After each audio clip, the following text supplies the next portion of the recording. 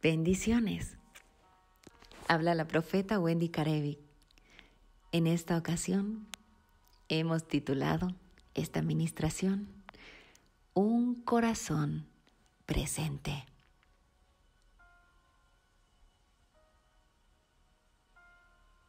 Sí, sí, aquí estoy. No me he ido. Quizá cuando escuchaste este silencio pensaste, oh, a lo mejor mis audífonos no funcionan. ¿Qué será? ¿Mi dispositivo es el que está funcionando mal? Pero te trajo al presente, ¿verdad? El presente es un tiempo en el que late nuestro corazón. Pero tal pareciera que continuamente lo estamos forzando para acelerarlo y pretender meter nuestro corazón en el futuro o a desacelerarlo para pretender vivir en el pasado. Cuando todo está en silencio, tu corazón se hace presente. Durante este tiempo pudiste escuchar a tu corazón. Seguramente me dirás, no, estaba tratando de ver si había algún problema con mi dispositivo. ¿Verdad? Vamos a ver qué quiere decir dispuesto según el diccionario del Espíritu Santo. Dispuesto, disciplinado, porque el querer no te lleva a obtener, es el hacer el que te hace vencer. Quizá logramos disciplinar a nuestro cuerpo y ya nos encontramos en ese camino haciendo ejercicio, comiendo saludablemente, etc. Podemos disciplinar también a nuestra mente, teniendo buenos pensamientos, quitando todo pensamiento que nos haga daño y establecer los pensamientos de Dios. Pero, ¿cómo es que se disciplina nuestro corazón? ¿Saben cómo? Teniéndolo presente. No te olvides de Él. Proverbios 27, 19 dice, En el agua se refleja el rostro y en el corazón se refleja la persona. Está hablando en tiempo presente, ¿se dieron cuenta? El corazón funciona continuamente, aunque estemos dormidos. Es más, cuando deja de funcionar nuestro corazón es cuando morimos. Tal vez te encuentras angustiado. Estás angustiando demasiado tu corazón con estrés, depresión. Olvidamos a nuestro corazón, dejamos de atenderlo y curiosamente es lo que nos da vida comenzamos a luchar con nuestro propio corazón.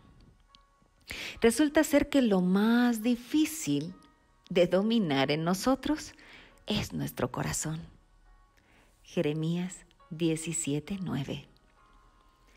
Nada hay tan engañoso y perverso como el corazón humano.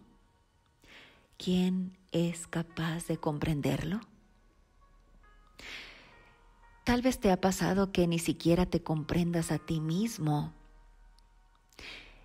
porque dejaste de monitorear a tu corazón, le diste rienda suelta, es decir, dejó de estar presente. Bueno, pero ¿cómo podría hacer para traer a mi corazón en el presente? Vive, vive cada momento, cada actividad a lo largo del día, cada día, día por día hora por hora, minuto a minuto. Concentra tu atención en el ahora. Por ejemplo, si estás comiendo, deja tu celular a un lado, deja el trabajo a un lado. Contempla ese plato tan lleno de colores. Qué rico huele. Saborea la comida. Cuando estés hablando con alguien, Préstale toda tu atención. Vive intensamente.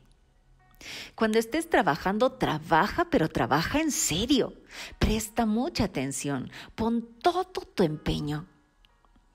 cuando estés adorando a Dios, adóralo de verdad. No te distraigas. Que tu corazón esté presente.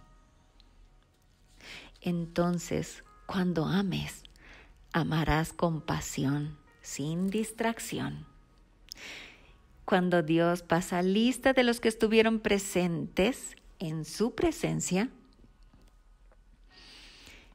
toma en cuenta aquellos a los que trajeron su corazón delante de la presencia de Dios. No es tu boca lo que Dios toma en cuenta. Quizá dijiste un gran aleluya al rey, pero tu corazón fue el gran ausente. Entonces, no estuviste presente para Dios. ¿Sabías que en la adoración a Dios, con tu corazón presente, lo estás entrenando. Estás entrenando a tu corazón para ser feliz en el ahora. ¿Te parece que hagamos un ejercicio para que puedas ver que es muy sencillo traer a tu corazón en el presente para Dios? ¿Quieres aprender a escuchar a Dios?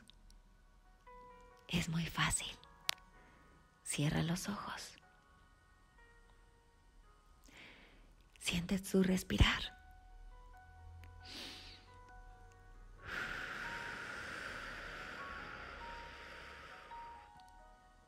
Ahora vas a mover tus dos manos lentamente y las vas a llevar hacia tu corazón.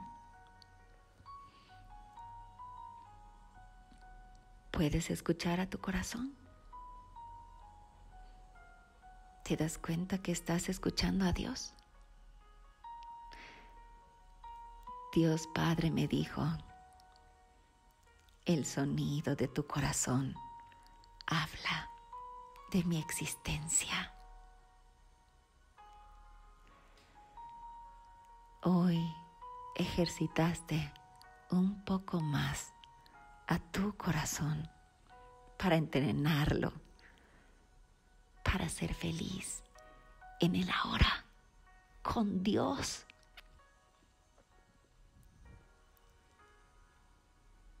Hagamos oración. Jesús, mi corazón me recuerda que cada latido proviene de tu amor.